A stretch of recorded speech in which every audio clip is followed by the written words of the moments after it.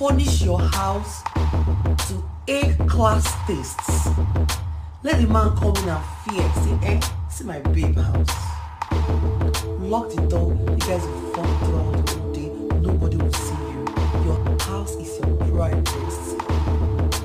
Don't do hotels. Nobody will stop you. This man will give you money. Lots of advantage when you date a married man if you are patient. Not enjoy the relationship. If you are patient with a married man, you don't call him, you wait till he calls you, you wait till he gives you appointments, you wait till he sends you money, you wait till he choose to travel out of the country with you. But you look at me are impatient. You want him to call you. Are you his wife? Why must he call you all the time? He has a wife in the house. He, he has kids.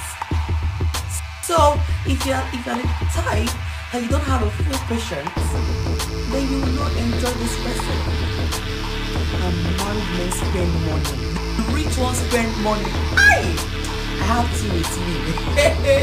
God. I call them ATM.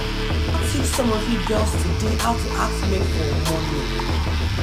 Some of you, hey, hello baby, eh, my mommy is dying You want money for drug? Are you cheap? Not cheap, girl.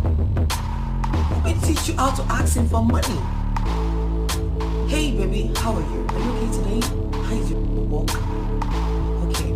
Call me when your legs busy because I guess you're at work. Tell you, baby, we can talk. If he's busy, he will tell you, oh, okay, thanks, baby, love you, talk to you later. When he now calls you back, oh, baby, how are you? There's this business I want to do.